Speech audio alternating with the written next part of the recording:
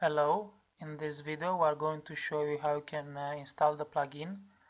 From plugins click Add new, upload, browse, uh, double click the zip file, install now. Activate plugin. You'll see the plugin appearing here and also on the left side you'll see the plugin menu.